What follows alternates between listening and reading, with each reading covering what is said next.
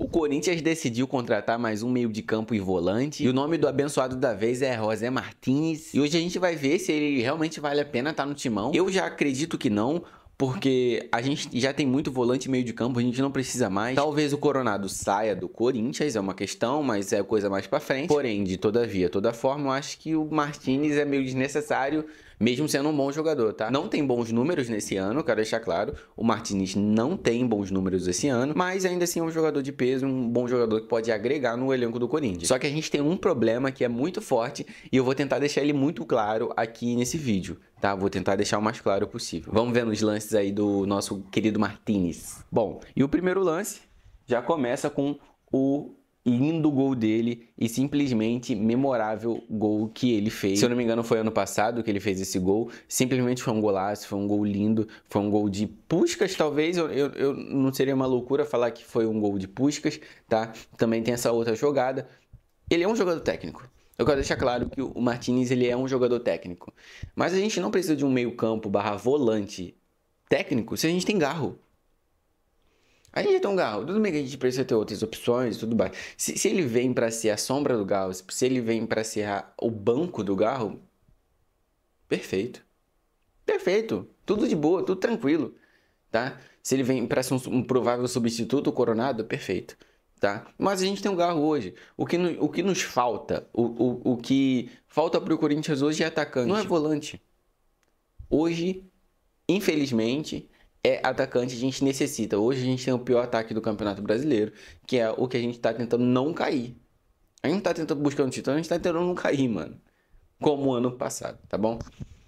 Vamos continuar vendo os lances do, do nosso querido jogador aqui, que é um esse bom jogador, deixando bem claro. Aqui ele dá esse lindo gol também. Ele é simplesmente muito bom, tá? Ele finaliza bem até.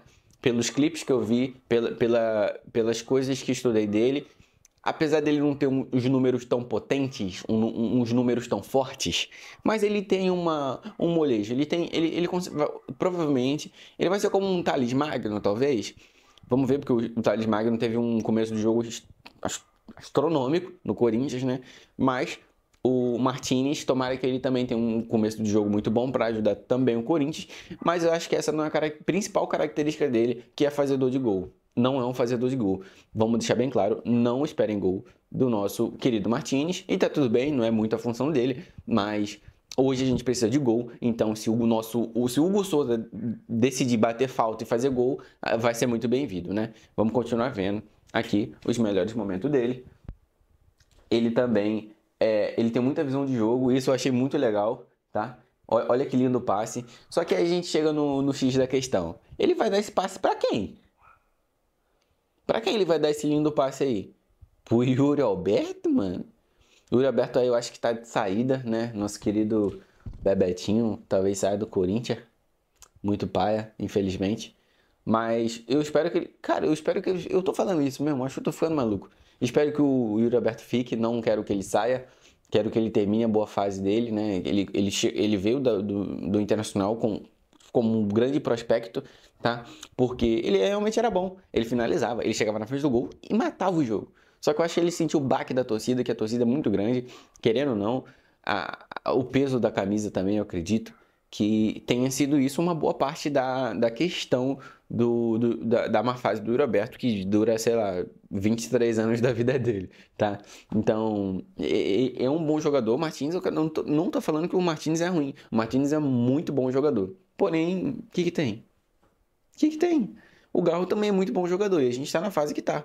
Não tô culpando o Garro, claro, longe de mim, pelo amor de Deus. Mas eu tô falando que a gente não tem atacante. Essas, essas tentadas. Mano, o nosso setor criativo já tá bom. O Coronado e o Garro estão fazendo um excelente trabalho. Saiu o Wesley agora. Nosso setor criativo não, não diminuiu porque o Wesley saiu tá? Então a gente falta atacante mesmo, não tem muito o que falar. O que nos falta é ataque, tá? Mantendo o, o vídeo, o tema do vídeo, que eu não quero me desfocar muito, tá aqui o Martins e ele simplesmente consegue fazer um excelente cruzamento que deixa na cara do gol. Um, um gol, claro, muito fácil de fazer, sendo bem sincero, muito simples de fazer mas que os nossos atacantes perderiam. O Pedro Raul com certeza perderia esse gol, isolaria lá na, na casa do chapéu. e o Yuri Alberto nem encostaria na bola. Então, do que adianta? Tá vendo que eu tô mostrando todos os lances dele?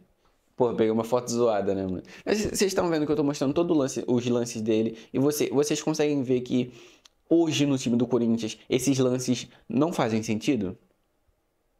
Não fazem sentido, a não ser os lances de gol, mas não fazem sentido porque não tem alguém que finalize. Não, hoje o Corinthians não tem ninguém que finaliza gol. Tem quem cria, que é o Garro, que é o Coronado. Mas quem finaliza? Quem vai finalizar os gols? O Thales Magno, tadinho. O Thales Magno. Então, vamos continuar vendo, tá? O, o, nosso querido jogador, o nosso, a nossa nova contratação do Corinthians. E olha que visãozinha de jogo que ele tem, né, mano? É uma visão de jogo, mas olha isso. Ele tinha pessoas que finalizavam. Então, assim, o, o Garro, ele, ele tem o mesmo estilo de jogo do, do Garro, tá? Ele não é tão diferente do Garro em questão técnica, né? Ele tem uma boa visão de jogo, assim como o Garro também tem. É um cara que, que se, se o Garro bobear por algum motivo, acho que não bobeia, tá? Mas se o Garro bobear, vai perder titularidade para ele, tá? Pode perder, pode jogar junto, né? Vamos ver o que o nosso dia está fazendo. Eu quero que joguem junto. quero muito que joguem junto. Mas para quê? Você tá entendendo? Para quê? Ele tá vindo como meia, meia volante, né? Essas duas, essas duas, essas duas funções. Mas não tem atacante. Não, hoje o Corinthians necessita de atacante, pô. Não tem jeito. A gente pode espernear, falar um milhão de coisas, mas não tem jeito. O que nos falta é atacante. E a gente vai continuar vendo o vídeo dele. E era essa necessidade que eu queria deixar claro. Essa a imagem tá meio ruim, mas ele é para mostrar que ele corre o campo todo também tem bons lances dele. Pô, essa investida foi sensacional, que ele consegue inverter de uma ponta para outra. E assim sucessivamente, é um jogador de muita técnica, um jogador que vai somar muito, eu acho, no elenco do Corinthians. Mas o Corinthians tem contratado mal. Hoje, o Corinthians contrata mal, tá? Eu, eu acredito que com o valor que foi dado ao Martinez, deveria, deveria ser imposto em um atacante, em um matador, em um verrete da vida que fez o gol ontem no jogo do Vasco. Então, eu acredito que o Corinthians está sofrendo da mal do, do setor criativo, que já afetou muitos times né, na história do futebol, que é encher o meio de campo. Enche o meio de campo em pessoas inteligentes que criam jogada, que tem visão de jogo. Lá na frente eles resolvem, tenta, cria jogada que Hoje a estatística do Yuri Alberto é mais ou menos, se eu não, me engano, é de 10 a 12 que, criadas de jogada para ele conseguir fazer um gol. Então, assim, é, pode ser uma boa estratégia, né? Você bota mais 8 meio de campo, você bota 8 meio de campo e deixa o Yuri Alberto lá na frente e tentando chutar a bola no gol, mano. Aliás, dominar a bola, que é o primeiro passo, né? Então, eu acredito que essa contratação do nosso querido Martinez não tenha sido tão boa por conta disso, apesar de ser um jogador, olha que, ó, olha que lançamento, mano, pelo amor de Deus, mano. É um volante raiz, tá? Simplesmente o líder dos lançamentos. Então, cara, é um jogador muito completo, na minha opinião. Ele é simplesmente bom demais. Mas o Corinthians não precisa disso. O Corinthians precisa de um cara que faz gol. O Corinthians hoje precisa de um goleador é tudo que a torcida pede, é tudo que a torcida quer, que é um homem gol, tá? Então, bem-vindo ao José, José Martínez. Vamos aprender a falar o nome dele, né? né? Nas entrevistas, provavelmente ele vai perguntar como é que é o nome dele, como se pronuncia.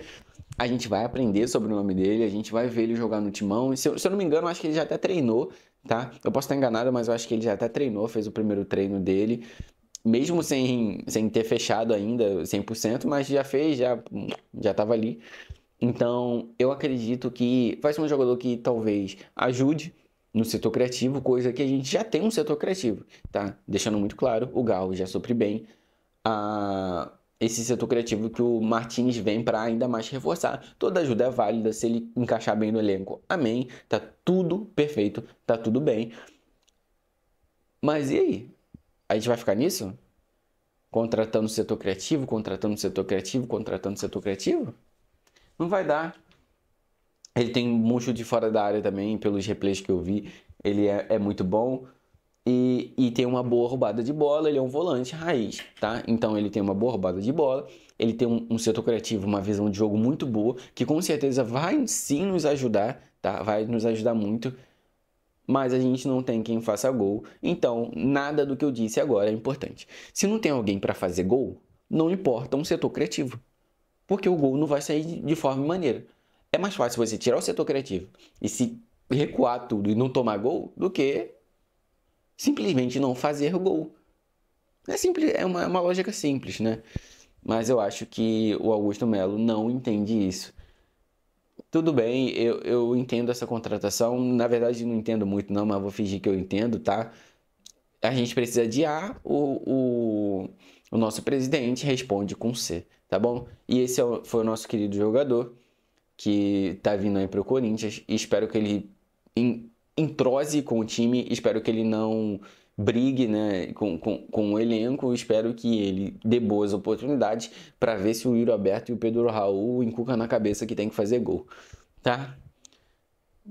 Bom setor criativo, porém temos Pedro Raul. Acho que esse é o resumo total do vídeo. Obrigado a todo mundo. Boa-vinda ao José Martinez. Deixa o like, se inscreve, ativa o sininho. Ativa o sininho que é importante, mano. Eu percebi que é importante. E é isso, rapaziada. Valeu. Tamo junto. Falou.